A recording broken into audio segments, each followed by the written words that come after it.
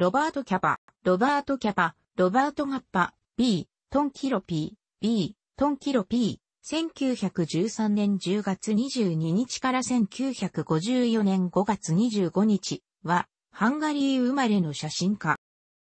本名は、フリードマン・エンドレ、フリードマン・アンドレ、フリー DMNNDR。フランス語読みのアンドレ・フリードマン、アンドレ・フリードマン、ダ・フィットマンと表記されることもある。同じく写真家で、1974年に ICP 国際写真センターを創設したコーネル・キャッパは弟。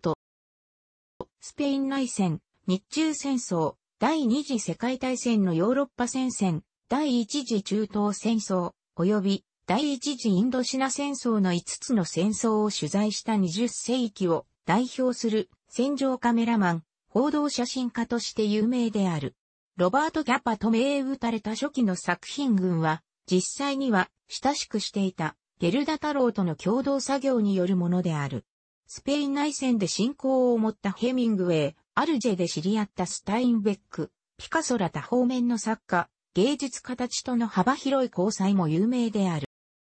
フリードマンは1913年10月22日、洋服店を営んでいたユダヤ系、アシュケナジムの父フリードマンデジェフリードマンデジュー、フリー DMND と母ベルコビッチ、ユリンナ、ヘンリエッタ、バーコビッツ・ジュリアナ・ヘンリエッタ、バーコビット・ジュリンエヌ、ヘンリーットの次男としてハンガリーのブダペストに生まれる。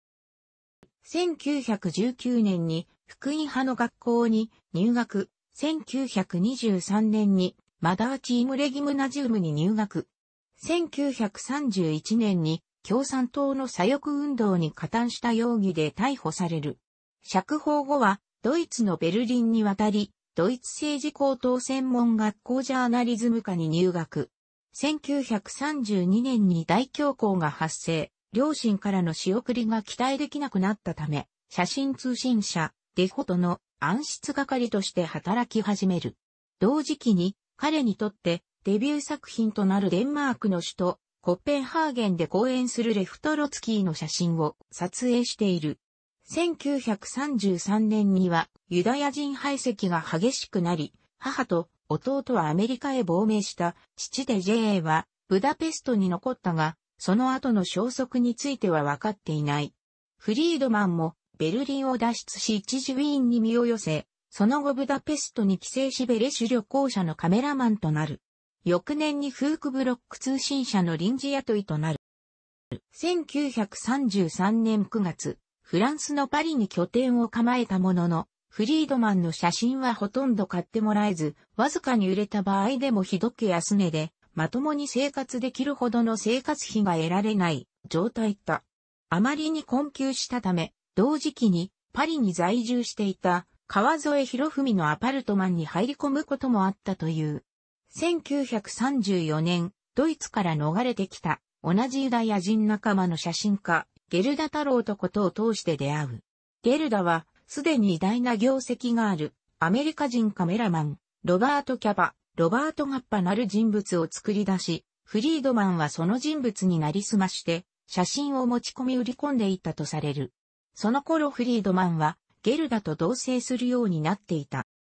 フランスの写真週刊誌、ビュの1936年9月23日発刊の号に彼らの写真が採用され、死の瞬間の人民戦線兵士というタイトルが付され、さらに翌年その写真が大きな発行部数を誇り影響力の大きかったアメリカのグラフ誌、ライフの1937年7月12日の号に転載された際に撮影者の名前にロバート・キャッパと記されていたことでこの名が一躍知られることとなった。この写真が、いわゆる、崩れ落ちる兵士と呼ばれている写真である。この写真を公表した頃から、ゲルダの企みがバレてしまい、フリードマンは自らを、ロバート・キャパと名乗るようになった。この写真は、これらの雑誌に掲載された時に、写真のもとに、付記されていたタイトルや解説などが信じられることによって、19,367月のスペイン内戦が勃発した時期にゲルダと従軍し、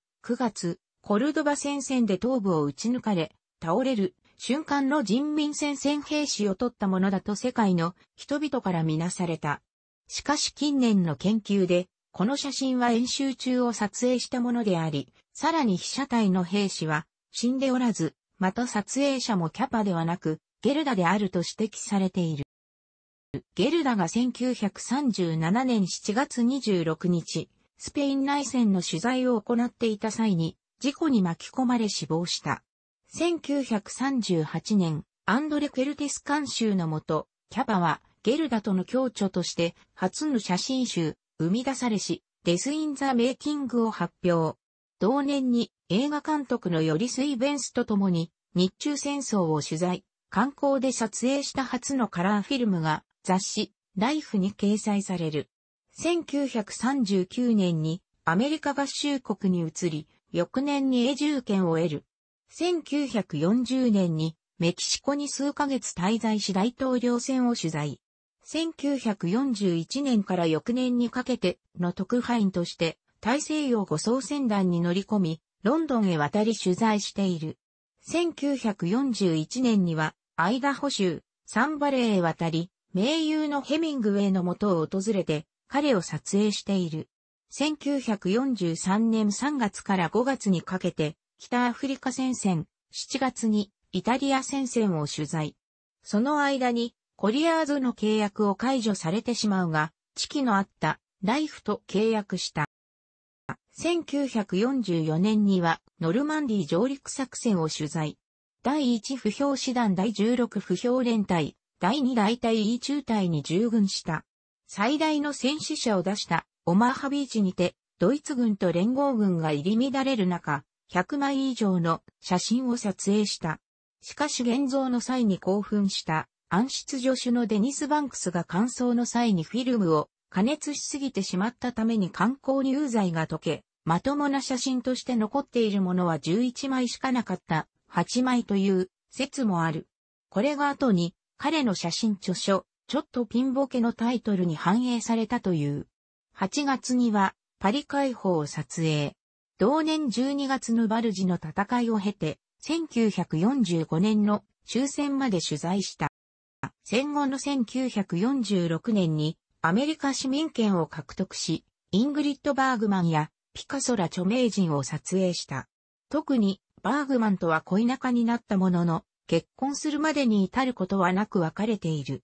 1947年に、アンリ・カルティエ・コール・ブレッソン、デビッド・シーモア、ジョージ・ロジャーラと国際写真家集団、マグナムを結成。同年に、ジョン・スタインベックらと共に、ソビエト連邦へ旅行に向かう。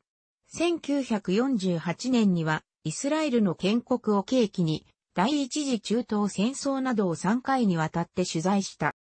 1954年4月に日本の写真雑誌カメラ毎日の創刊記念で来日、市政の人々を取材した。ほどなく東京でライフから第一次インドシナ戦争の取材依頼を受け、北、ベトナムに渡る。